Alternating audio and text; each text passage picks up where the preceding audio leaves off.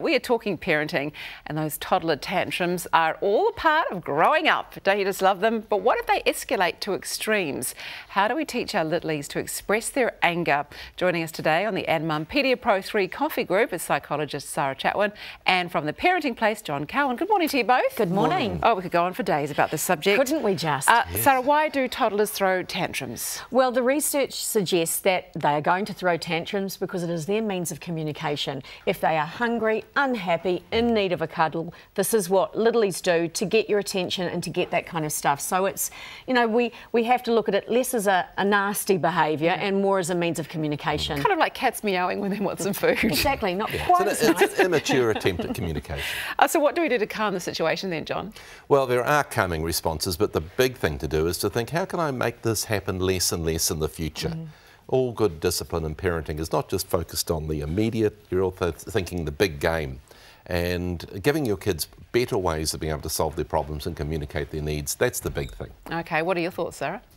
I just think that parents can't be too tough on themselves or their children. Tantrums are going to happen. In fact, mm. John had a few tantrums as a little, he didn't you? You did, I did, we all did. So I think we just have to look at it as something, you know, rite of passage um, and learn to, to be calm if we can mm. when faced with this kind of behaviour because, you know, uh, treating a tantrum by having a tantrum yourself isn't going to work. Anger versus anger mm. isn't going to work. It's just going to accelerate mm. a situation. So try to keep calm and just you know, just relax and know that this too will pass. The thing is, that's what I used to tell myself all the time, this too will pass. And it can be difficult too because parents can be tired with the toddlers as well. Right. I remember vividly being nine months pregnant and my two-year-old was lying on the side of the road because I wouldn't let him walk over the bump bumps, having a massive tantrum. I couldn't pick him up. And we're all just exhausted. Yeah. But it is it is hard to get through sometimes. What about those other angry outbursts, though, John, that maybe aren't just screaming and wailing and, you know, sort of like thumping on the floor, the ones like biting or hitting. Yeah, biting or hitting doesn't necessarily come out of anger. Sometimes it's kids just experimenting with uh, their relationships. They need to know that it's a failed experiment.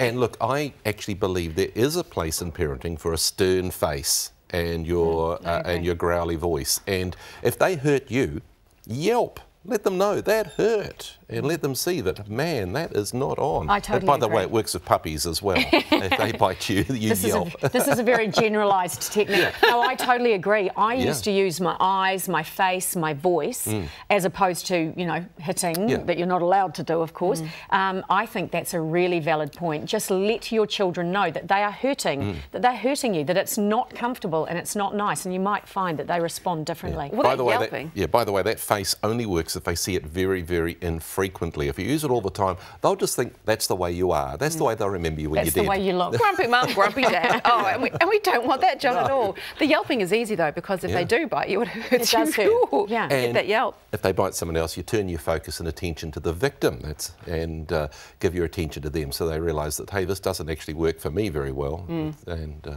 so, yeah. So hopefully it will stop. Uh, Sarah, yes. what should we do then about teaching our toddlers about expressing their anger then? Is there other ways? Look, I think it's okay for them to express their anger, but when you're dealing with toddlers, you're dealing with a, um, you know, a child, a littly. Mm. They're not cognitively complex. You need to be speaking in simple terms. But I do believe in honesty. I do believe you need to let them know that this thing hurts, that you can't do this. Mm. You shouldn't be hitting. So I think talking them through it, offering other options. There might be a game that you can construct with mm. them that teaches, you know, right from wrong. At the essence of this, it's about, you know, right and wrong. It's mm. not acceptable to hit, to bite, to mm. to kick, or to exhibit those kind of behaviours. But it is okay occasionally to be angry in the right yeah. circumstance. And of course, as parents, we always have to, you know, acknowledge that tantrums will exist.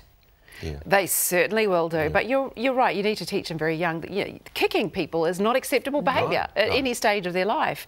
Uh, John, kids are allowed to be angry though, aren't they? That's right. The world does need a little bit more anger at the right things. But the type of anger that we're probably talking about here, you could probably see a lot less of and be happier about it. Mm. Yeah. That is true, but they, I mean, they're going to get angry if they don't get the yeah. right breakfast cereal because, you know, who doesn't? Can I, can I urge you to put your, your, your, your, parenting specs on and look sometimes behind the behaviour? Mm. And you might just be seeing the, the, the, tip of the iceberg. There might be sibling rivalry, there might be tiredness, there might be un, they might be unwell, all sorts of other issues might be the major cause of this tantrum and outburst that you're seeing, not just the thing that seems to be provoking it. Well, we know how we are when we're tired. That's right. Mm. And it's so very hard for parents, particularly when you have more than one. When you have one, they just have your focus. But when you have many or several, you know, you have to kind of, yeah. you know, split your time. So it's very difficult for people to, to get on top yeah. of this, but you can do it. It is quite yeah. the juggle. Top parenting tip, just have one child. Yeah, yeah. it would be a Three's great. I love my three boys. Couldn't,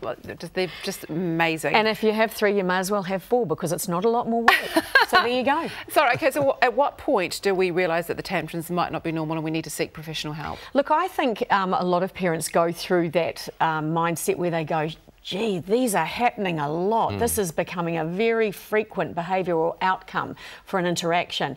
And I, I, wonder if I'm doing the right thing. If you are ever feeling that, you know, conversations with your parents or your partner or your family or your friends are not quite cutting it in terms of giving you good options, I think seek out objective advice. There's nothing wrong with that. And I think that if, you, again, if you are seeing these things frequently and they're very mm. disruptive and they're very uncomfortable for you and your family, mm. you probably need to consider getting some objective advice from somewhere mm. else, a GP, a psychologist, mm. John, me, and that Mel. can be and that can be all it takes sometimes. Just exactly. having that little outside talk and going, mm, okay, this is not so bad. That's I right. get through this. Just to refocus and give you a few options. This too shall pass. Thank you both very, very much. Great advice as always. Our coffee group is brought to you by Anmum Pedia Pro 3, the only toddler milk with no added sugars. Now, you, if you have any worries that you'd like addressed by our parenting panel, you can message us on the Cafe Facebook page. One contributor will win this cool ebook from Ann Anmum that allows you to record your own Sweet voice. Dreams, Mike. Here's a oh. special bedtime story from me, just for you. And every week I say, I must record a new story for Mike, and every week I forget. This week's winner, you can do your own voice though. This week's winner is Kerry Ann Marie Howard. Congratulations, and thank you for your great suggestion.